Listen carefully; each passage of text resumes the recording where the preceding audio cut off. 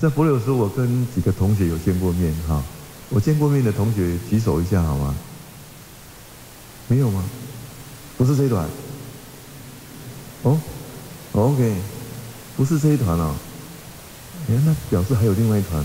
呃这下乌鸦飞过，好尴尬。副总统赖清德贴见青年大使，结果搞错团了啦。首先，我代表蔡英文总统高度肯定你们成功的完成一项重大的国民外交工作。政务持续做，但副总统好忙好忙，还要兼顾党务。虽然刚当选党主席，但还是有隐忧。而他上任后要面对的第一场战役，就是南投立委补选。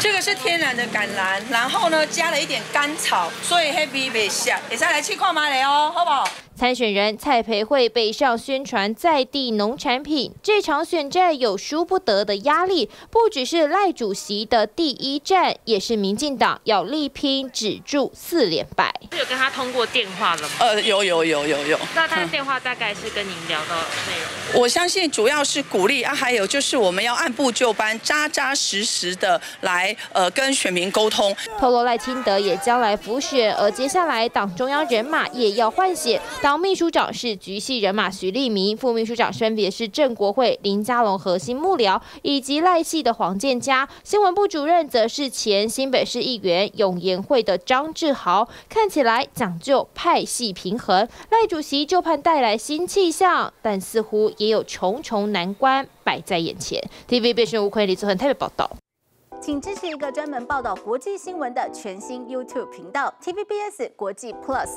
扩大视野，掌握趋势，请订阅并开启通知小铃铛。